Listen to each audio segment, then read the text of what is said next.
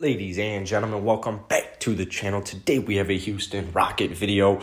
I know my last video was about John Wall, but I do want to talk about John Wall again because Kemba Walker earlier today got bought out by the Oklahoma City Thunder and he has signed a very small contract with the New York Knicks. And it gives me hope. It gives me hope. I do believe that they will trade away John Wall at some point in the offseason now. I don't think that they'll go into the upcoming season with John Wall on their roster because they know if John Wall's on the roster, he's going to be starting and it's it's just not really it doesn't make that much sense. You know, it really it really just doesn't make that much sense. It's almost as if right now John Wall is a rental and this isn't baseball and this isn't the end of the trade deadline and this isn't a championship contending team, so we don't need a rental in John Wall. So this is just very promising news. Now the thing about Kemba Walker getting bought out by OKC is it it actually just shocked me. Now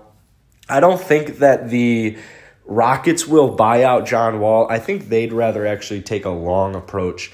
I need to do more digging on why the Thunder bought out Kemba Walker because to me it doesn't make much sense unless they actually who did they draft? Unless they have a point guard they want to start. I don't Kemba actually sounds kind of intriguing on that. You know, that team actually sounded kind of intriguing with with Shai, with their new draft picks.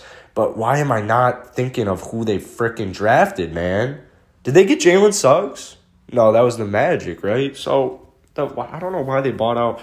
Chat, if you guys can help me out and go ahead and comment why Kemba Walker got bought out by the Thunder, um, or why they wanted to, or you know, just anything like that. If we got any Thunder knowledgeable people in the chat, but it's just really reassuring. I would have to say the downside of this is that it's kind of an update in a sense that he got bought out by the Knicks, or he got bought out, signed with the Knicks. So the Knicks are no longer in the hunt.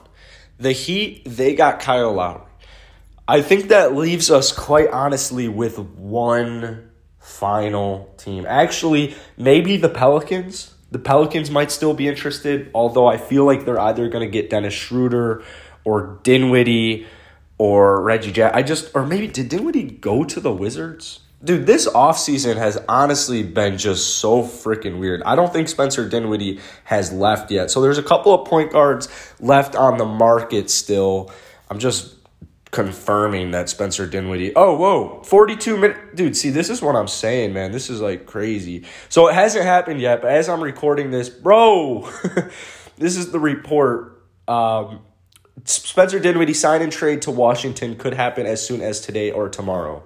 It's expected to be a multi team trade, possibly expanding across six to eight different franchises. So I don't even really know what to think about that.